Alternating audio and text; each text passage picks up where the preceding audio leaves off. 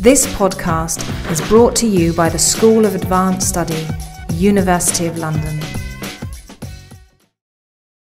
Good afternoon. I'd like to welcome everyone to this uh, third panel today of this um, fantastically stimulating conference. Um, uh, this uh, subject of this afternoon's panel uh, is Breaking Free of Documents, Collections in the Global Histories. Um, and um, as the biographies are in the pack, I'm going to hand straight over to Professor Margot Finn um, from University College London.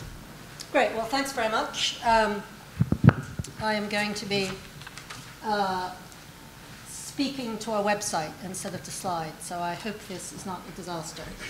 Um, this presentation is going to have two main goals. Um, the first is I want to use a three-year Leverhulme-funded project called the East India Company at Home as a case study in using collections of material objects uh, to produce global histories. Um, but also, I think, um, to rethink what we mean when we talk about the archive. Um, and that's obviously relevant to what we're doing here today. And I think that in the sessions before, what we have been doing explicitly and implicitly is rethinking what the archive is and where it is and how we access it and who it is who is accessing it. So that's the, the first half, really, of what I'll be doing.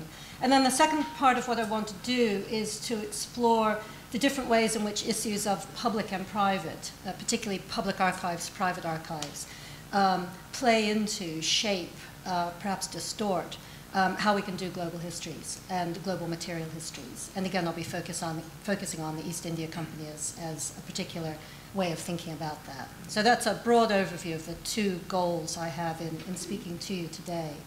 Um, I'm going to start by explaining to you what this three-year Leverhulme-funded project, the East India Company at Home, is.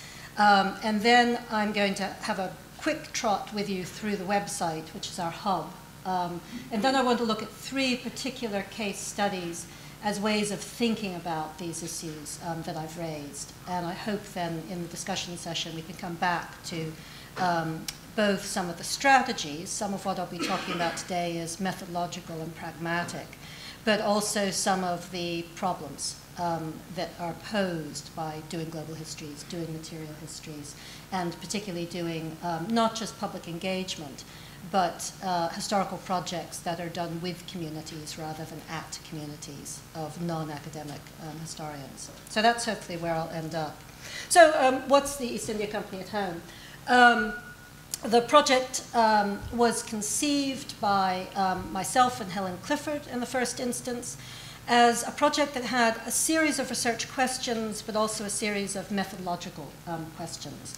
And the main research questions really had to do with if we look at that iconic um, national English country house, Scottish country house, Welsh country house, um, how can we fit this national icon into an emerging narrative of global history? What is the global history of the stately home in Britain? So that was an overarching set of research questions that we were asking. And it's important to say that the project was um, conceived and delivered at Warwick University. Unsurprisingly, obviously, um, the um, wonderful influence of my former colleague Maxine Berg, both from Luxury, uh, which very much informs our project, her, her, work on luxury, and then her founding of the Global History and Culture Center, which is animating um, much of what's coming to us.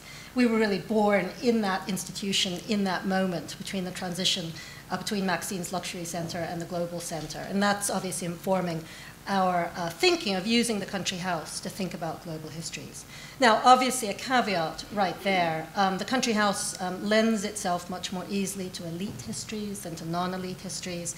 Uh, using the country house as a way of exploring the history of the East India Company uh, makes it for a very Anglo as opposed to a very transnational history, and I'm aware of those limitations and happy to discuss them subsequently. But I think that when one looks at um, current depictions of what Englishness is, both in England and particularly thanks to television and film outside of England, you can't escape the dead arm of the country house. Um, think of Gosford Park, think of the bloody Downton Abbey, think more recently of Blandings. I mean, it's this constant recurrence to the English uh, country house or the British country house is something that exudes national identity. So we wanted to disrupt this narrative, but also to explore it. So that was one of the crucial things um, that we do to, to try and um, de-Downtonize the country house, is, is one of the ways of, of saying it. But methodologically, we were also very, very keen to ask the question how can academically based historians doing an academic project, asking academic questions, engage systematically, fruitfully, productively with the many community based historians who are doing history all the time in the archive, uh, through the internet, and not in ways that are systematically connected to academic research. How can you take this information that appears if you go into Google to be random um, and somehow connect it to the project that we're engaged in in writing new global histories? Because I think if we fail to do that, then um, we are often, academics often condemn local historians, community based historians as somehow being antiquarian or family historians as being just genealogists. Well, if we're not engaging with those kinds of histories and working with it and thinking through with it, we're in no position to critique its analytical perspectives. So, part of what we were trying to do is take that new boom, that incredible boom in everybody thinking, I can do history, I want to write history, and connecting it up with a more academic project. Um, and I'll describe in a moment methodologically how we've done that.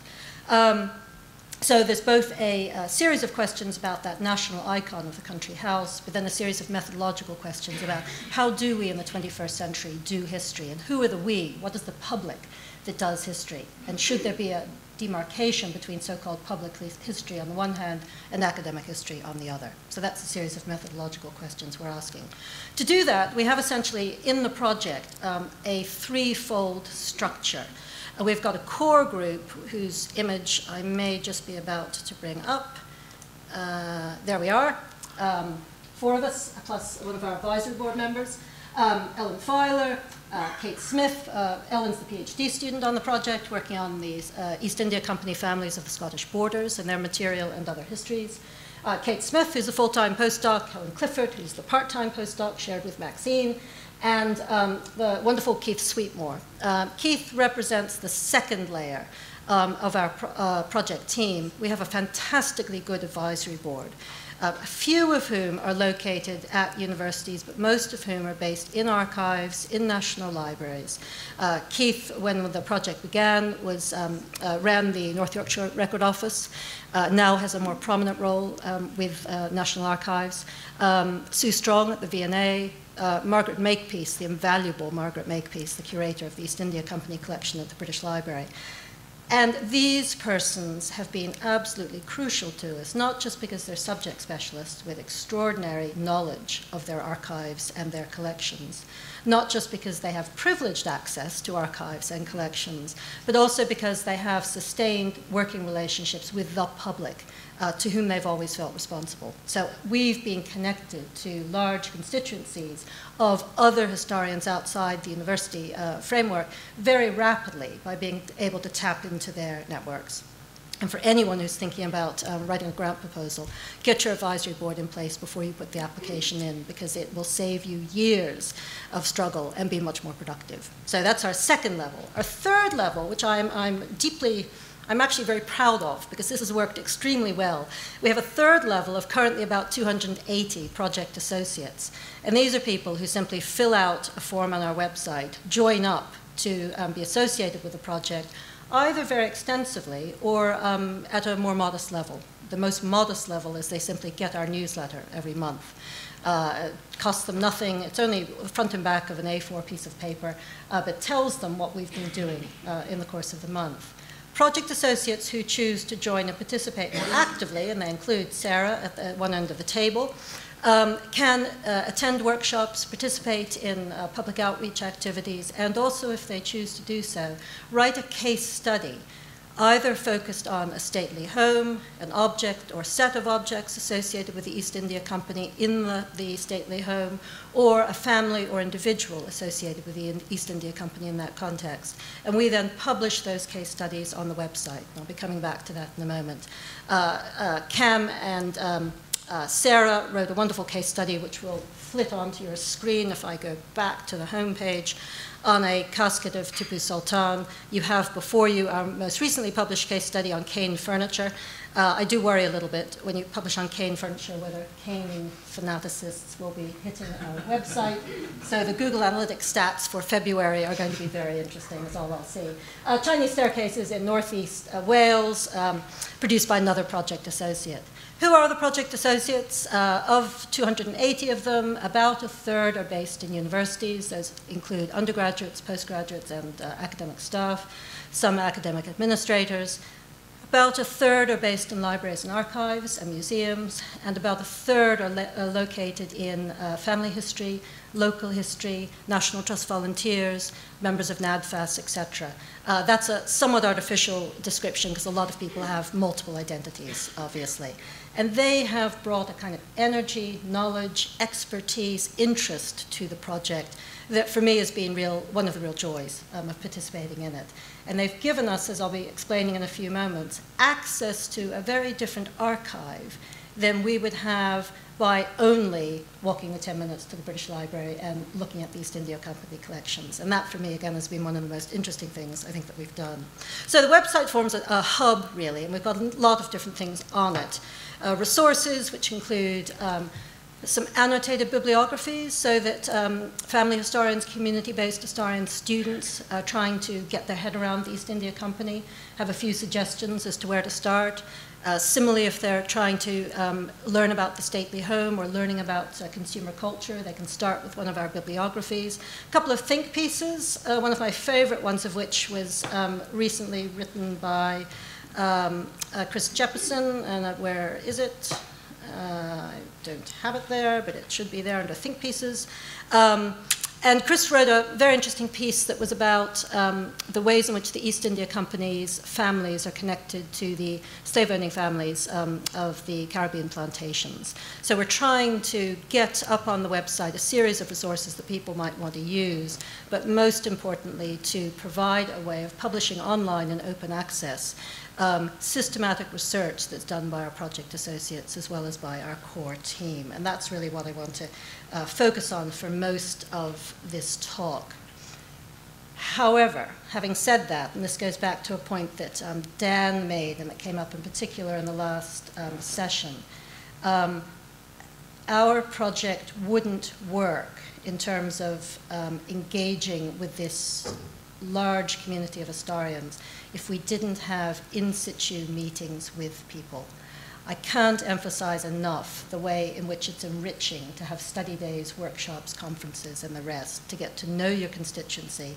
You begin conversations that then continue on and people invest in interesting ways. People are much more willing to listen to other perspectives if they've met people. So I am very skeptical about the complete digitization of um, state archives and other archives as a substitute for people actually meeting together, having conversations together. I think there's a, a level of enrichment that you just get by putting those kinds of activities in there that you can't get through digital environments. Now, digital environments are very, very important for giving people who don't have geographical access to your collections access to what you're doing. But in and of themselves, I think they would yield an impoverished way um, of doing history. And I think that really should be written into every grant proposal that people write. So that's the, the website. It's a hub. I hope all of you go to it um, very soon. And if you want to become a project associate, someone's about to leap up and pass lovely leaflets down the side uh, to people. Um, I've got a few spare at the front. The lovely leaflet explains what we're doing, invites you to collaborate. You can have a look at it, pass it around, and become our 281st project associate by the end of the day. Obviously, we do Twitter and all those other things too, and that's um, all very fine and dandy. Let me talk to you about three case studies that illustrate uh, some of our agendas, but I also think some of the shared agendas here. And I'm going to start with the Indian seal of um, Sir Francis Sykes. Sir Francis Sykes was an 18th century nabob, that is to say, he was an East India Company um, servant, merchant, um, who made a spectacular fortune um, in mid 18th century India, which he then remitted back um, to Britain uh, in order to purchase not just one country house and country estate, but actually several. Um, Sykes um, Well, Sykes is an interesting person in and of himself. And one of our project associates is Sir John Sykes, the lineal descendant of Sir Francis Sykes, um, who joined us at our first uh, workshop study day at the British Library and brought along with him the Persian seal of Sir Francis Sykes. And of course, as a man of business in the 18th century, Sykes had to have a seal. That seal, because Persian was the, um, the language of, of, business, the language of state in 18th century India, including Company India, had to be in Persian. And when Sykes went back to Britain, leaving a significant portion of his wealth still in India, where the interest rates were very, very high, he left his seal with his Indian banyan, his Indian man of business in whose family the seal stayed for nearly two centuries, being returned to Sir Francis Sykes via the great great great great grandson of Sykes's Indian Banyan. So, what we have here is a case study which is both about that Indian seal in the 18th century, but also about the history of two families one an Indian elite merchant family, and the other an Indian landed family uh, in much of the 18th and 19th century through um, loot, basically um, repatriated from India. And Sykes is an interesting, uh, Sykes in the 21st century Sykes is a very interesting case of somebody who, very interested in his family history, uh, wrote the Oxford DNB entry for Sir Francis um, Sykes, but didn't really have places to publish this very rich research that he had conducted, nor did he have, you know, his own personal museum for putting the artifacts that he retains of his family. So, part of what our project, we hope, is doing is not creating an archive, creating a museum, but giving people out there, you, me, people in the public, access to items, goods, documents that are in private hands but need to be in our hands for us to tell the public histories of the company. Sorry, how many minutes was that? That was five. Five more. Okay. I'll do two more case studies that will raise a couple of those um, issues. So if we go back here, um, starting with the baronet may suggest to you um, that we are only doing a very elite uh, kind of history in the project.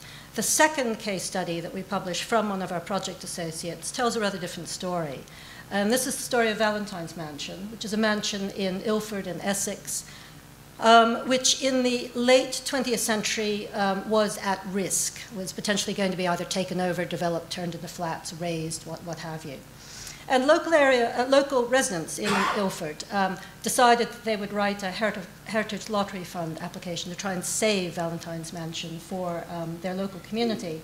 And in the process, um, Georgina Green, one of these local residents, um, began to investigate its history. Not somebody who had a lot of um, historical experience before, didn't have a history degree, but local member of the residents who, as part of this bid for HLF um, funding, decided to do the history of Valentine's. And to her surprise and the surprise of other uh, local residents, they discovered a deep history connecting Valentine's in the 18th century to the East India Company.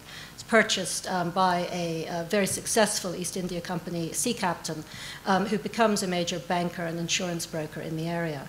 And Georgina's first class research, which has no relationship to academic institutions whatsoever, really um, created a new history of Ilford by mapping this series of different East India Company captains who clearly all retire together, repatriate, remit their fortunes together, and then set up English, but basically on East India Company fortunes, English banking and insurance companies. And they all live in this um, area together, a condensed area. Um, and it tells a very different story of Valentine's Mansion. But Georgina's case study really also uh, created a series of archives. Georgina went on eBay. If we go back to Sujit's uh, question about all these objects flowing around on eBay and being bought by people, and are they being taken out of the public domain or put into the public domain? Are they becoming more private when they're purchased? Or are they actually becoming more public because people like Georgina buy one of the pieces of the armorial porcelain of uh, Charles Raymond, who's the owner of Valentine's Mansion, and put that piece of armorial porcelain back on display in Valentine's Mansion when indeed it's saved for the community. Uh, another case of this was the um, diver who recovered items. This is another part of the case study from the Valentine's East India Company vessel, shipwrecked uh, bringing loot back from India, effectively, uh, for Raymond. Um, and at the bottom of the sea, not part of our archive, not part of what's publicly accessible to us, still in private hands, and yet made public, we hope, through a series of case studies that are then accessible by people and have moved into a number of exhibitions through Georgina's work with the British Library and with other, um, uh, uh, other uh, public institutions. Just very briefly, two minutes? Got it? I'm going to do my last one in two minutes then. Um, case study that we did at Osterley Park, which some of you may know, um, in Middlesex, West London. Um, where am I with Osterley? Osterley, a very interesting case of a Robert Adam neoclassical interior, presented by the National Trust historically as a Robert Adam interior, so European neoclassical tradition, and indeed it's a Robert Adam interior who re rebuilt the house in the later 18th century. The history that hadn't been written of Osterley was the history of Osterley as an East India Company house. The child banking family which owns it are also East India Company directors, and the house itself, albeit it has a Truscan this and a Truscan that all through it, thanks to Robert Adam, is chock a block full of armorial porcelain lacquerware objects that could only have been obtained in the early 18th century through the child family's East India Company connections, through its connections to supercargoes, etc. So Osterley, very, very interested in representing the house as having multiple heritages, not just one heritage, and not just a European heritage. So worked very actively with us, and we hope we work very actively with them to create a series of oral histories with current residents living nearby. Uh, the area is now very heavily South Asian British. Um, we did a series of oral histories, a series of exhibitions with the local community, and the exhibition that we did at Osterley was then migrated at their request to the local Sikh temple, the Gurdwara, where it's now being um, displayed. I will simply leave you with one thought about that process. Um, I've asked in, in, my title, Who Owns History? Um, when we were doing the Osterley exhibition, we owned our interpretation. And the individuals from the Sikh and Tamil communities with whom we work, they owned their contribution to that exhibition. When we redisplayed that exhibition at the Gurdwara, a whole series of people who had a very different take on their history, the history of Sikhs, the history of Sikhs in Britain, the history of Osterley, um, took over. And some of their interpretations were very contentious and very different. And to my mind, that was one of the best accomplishments that we had. So I'll end there.